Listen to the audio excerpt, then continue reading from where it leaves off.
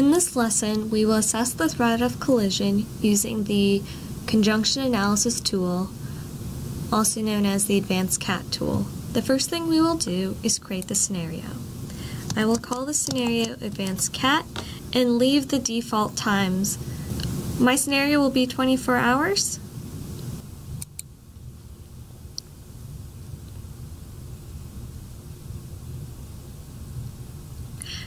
Before I insert any objects, I want to update the satellite database.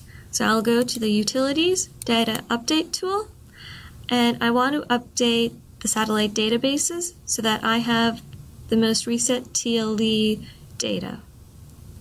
So when I have that selected, I can select Update Now. And when the file has been updated, I can hit Apply and OK.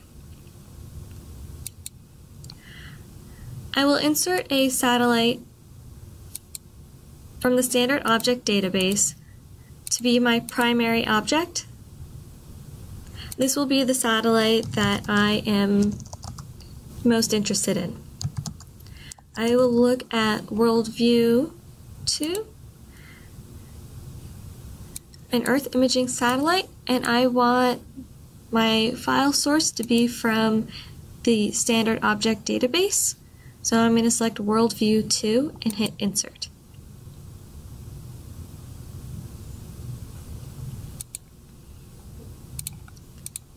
With the satellite inserted into my scenario, I can take a look at it.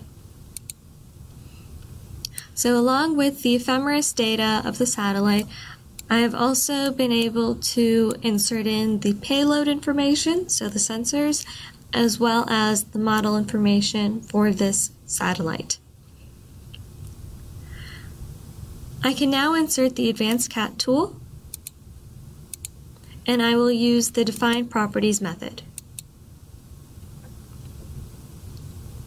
Here I can define a threshold, and this threshold is the distance between the primary and secondary error ellipsoids, which are defined down here. The error ellipsoid is defined by the tangential, crosstrack, and normal components.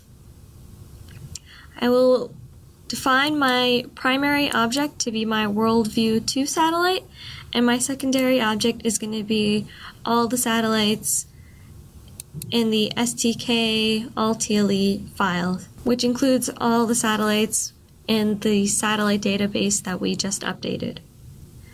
So after I have those defined, I'm going to click Compute, and then OK. Now I want to refresh my window, and I can take a look at the Advanced CAT tool. So along with visually showing us the error ellipsoid, we can also generate reports with additional information. So I can right click on the Advanced CAT tool and go to Reports and Graph Manager. And for this object, I can look at the closest approach by min separation and generate that report. At the top of this report, we can see information about the objects that we're looking at and comparing it to other objects that may be in the vicinity. We can also see the start and stop times for the first conjunctions, their min separation, and their min range. The min separation is defined by that error ellipsoid and threshold that we had set. And we can look at this first conjunction within our scenario as well.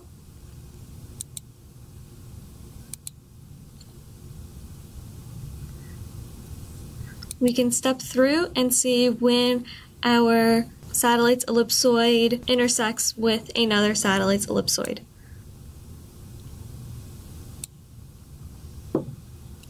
Also within the report, we can see the object name and its SSC number as well if we wanted to insert that satellite or do additional analysis.